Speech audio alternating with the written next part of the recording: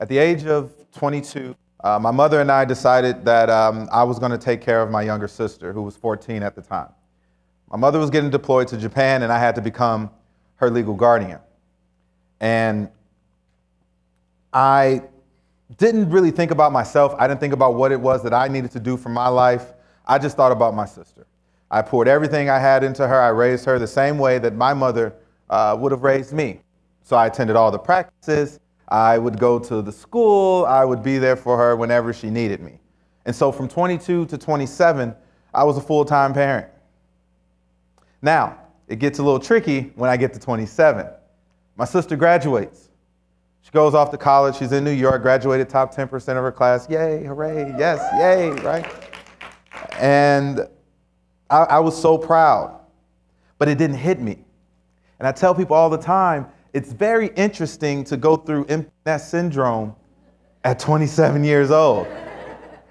that first Monday, I remember it vividly because it was like a turning point for me in my life. I came home, it was a Monday, had worked all day, got home, sat on the couch, and all I could hear was tick, tick, tick. And I'm doing it this way because I'm left handed, so I have to do it this way, right? But it was tick, tick, tick.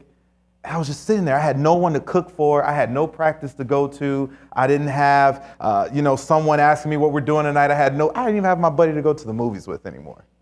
Um, and I sat there and I said, you know what? I have to get back to what I think is my life's purpose, what my mother raised me uh, to do, uh, what I felt like I was put here on this planet to do, and that was to be involved in politics, to be, uh, to help shape policy, to help get people elected, to help put people in positions of power, to even run uh, the candidates that we see every day. I knew that I wanted to do something that would help people in my, in the way that I thought I could do, the way I thought I could help people. And so in 2016, a young attorney who was running to become judge uh, the Honorable Florence Taylor Barner, who was successful in 2016 to become Broward County's first Haitian American elected judge without being appointed first. You see, here in Broward County, we have 90 plus judges, but only eight or seven at this time are of African American or Caribbean descent in a minority majority county. And so then I continued to travel. I, I wanted to see how deep this political rabbit hole went. I wanted to learn everything. I wanted to know the ins and outs. And so I began to travel. I went to I went all over the state. I went to different meetings, political events. I, I saw different candidates speak. I would go everywhere I could to try to meet and learn about this political system. I had no idea about it. But then I started meeting candidates. I started building relationships. I started meeting elected officials, people from the House of Representatives all the way down to your mayors and your city commissioners. I know a great deal of them here in the state of Florida, and I made it my mission to meet them. I wanted to learn what made them want to become an elected official, what made them want to pursue public office, and how did they get elected? How were they successful? Because I know a lot of people are well intentioned and they want to run for office, but I wanted to know what made them successful. I spoke to the people that won and I spoke to the people that lost. That's just as important. I wanted to know how do we get this thing turning because we need to get younger people, we need to get millennials in action and in the right positions, and we need to learn how this thing works so that we can start building our political power. But I didn't count on the 2016 election being the ugliest presidential election we've ever seen in our life. And I hope that we never have to go through something like that again. I, I pray we never have to go through something like that again. But that taught me something. That taught me something. And so through my various travels, I came up with these, these mantras, these tips, these tricks, these, these tools, these things that I thought made candidates be successful. And this is not the end all to be all. This can't, this may not work for everybody, but I think it's a pretty general blueprint. It's a general blueprint. So if someone were to come to me today and say, I am so and so and I am running for public office, I'm going to step back and look at you and say, Are you really running for office? Or are you just taking pictures and putting them up on social media? So, rule number one there are no rules. There are no rules. Like I said before, we went through the 2016 presidential election, and that completely broke the system, damaged it. There is no wait my turn. There is no you're in line. There is no you have to wait for someone to anoint you to be next. There's none of that. There are no rules. If this certain person or this certain organization won't endorse you, oh well. You don't have to play by their rules. You're there for the people. You decided that you wanted to run for office, that you wanted to step up and be the voice for the voiceless, that you wanted to be someone to do the most good in your community, in your city, in your district, or in your state. And just like this image up here, when the young man told Neo in one of my favorite movies, The Matrix, there are no spoons. Yeah, you're right, there are no spoons. It's a mindset. It's a mindset. There are no rules. You wait for no one. What is wait my turn? You know, I had a friend running for office, told this older gentleman uh, that he was running for office. He was running against a particular incumbent. That man looked at him and said, Haven't you ever heard wait your turn? I said, What did you do? He was like, Well, I just said, you know, thank you, sir, but, you know, I'm running for X, Y, and Z. I said, You better than me. I would have laughed and walked away. I wouldn't have said anything else. I would have just walked off. But there is no more wait your turn. Too often we have seen elected officials who say they represent us, but we still, we still don't have access to affordable health care, affordable housing, or affordable education. There are still people that in the summer here in South Florida have to open up the front door and the back door to get a breeze in through the summer. We have to do better. So if you say, okay, I want to run for office, I want to do the most good, I want to be the best that I can be for everyone around me, you're going to have to put in the work.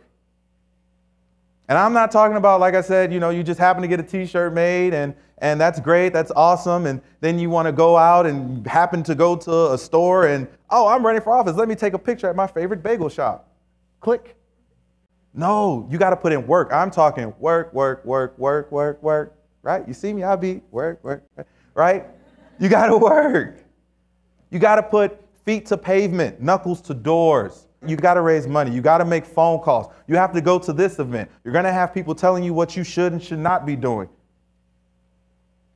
You're going to have all these voices in your head. You're going to have family members wanting you to do stuff. You're going to have people thinking you're now the expert because you went to one political meeting.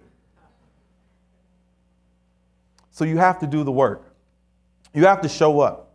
You have to follow up. And you have to make sure when you enter a room, they know you're there. And when you leave, they need to miss you. They need to know you left. Make an impact. Get out there and put in the work. So now you're saying, okay, okay, I, I'm not playing by any rules. I'm gonna put in the work. I love Rihanna, of course. All right, so yeah, okay, great. All right, so next step. What are your genuine intentions? What are your genuine intentions? I know for, for me, for the millennial generation, we have an opportunity to right the ship. We have an opportunity to rebuild this structure, to rebuild our political system, because it's no longer about us. It's about those that are coming behind us, our children, our future. What do we want to leave for them now? We have to think about that now. And so, anybody that tells me they're running for office, I need to know what your intentions are. Do you care? Do you care about the people in your community? Do you care that there are people that are hungry right down the street from probably your office building, where it would be if you're successful? Do you care? So if you say, okay, uh, I do care, no, I'm not asking you your elevator pitch. I'm not asking you to tell me what you think everybody wants to hear. I'm asking you to look in the mirror and ask yourself, do you care? Because you can lie to me, you cannot lie to yourself. So now, okay, you say, oh, I, I, I have genuine intentions. I want to do the most good. I'm going to put in the work. I'm not playing by any rules. I'm a rebel. That's why I'm doing this. Okay, so you say you're running for office. Well, everybody needs a superhero. Everybody needs a superhero. If you're running for office, that means you are committed to, to fighting injustices, whenever, whatever they look like. And so I have this theory, and I talk with my friends all the time, and I say that we are superheroes. Everybody is a superhero. And when you're a superhero, that means you have a superpower. Think about it. There is something that you are naturally gifted at. That you and a whole group of friends, there is this one thing that only you are great at doing. That's your superpower, right? We all have it. Our elected officials, some of the great ones, we see it, we can see it, right? Anybody ever heard of, um, what's this guy's name? Uh, President Obama. Anybody ever heard of him? Yeah? His superpower was on full display in, 2000, in 2004 when he addressed the nation. His, his, his gift with words, that is a superpower. And so I tell you, find your superpower. If you are running for office or you want to run for office, find your superpower and use it. You're using it for good. It's okay. Sometimes I know you think it's too easy or it's something's not working right because you're, you're, it just feels too natural. No, that's you. That's your gift. That's your gift. But something else you have to do too. And this is something a lot of people run away from and it causes us to get in trouble. Because everybody knows if you, if all my comic book fans know that it's not just about the good, right? It's also about the bad, right? There's always the struggle between the main character, the hero, about the dark and the light. So I say, you know what? Embrace the dark side. Right after you ask yourself, why are you running for office? Ask what your dark impulses are. Do you want power? You want to be wealthy? You want to be influential? You want the lights? You want the camera? You want everyone to know your name? You want the love? What's your dark side? Because you have to know what those impulses are. Because if you are successful, the power will go to your head if you're not ready for it. So, what is it that conflicts with your good side?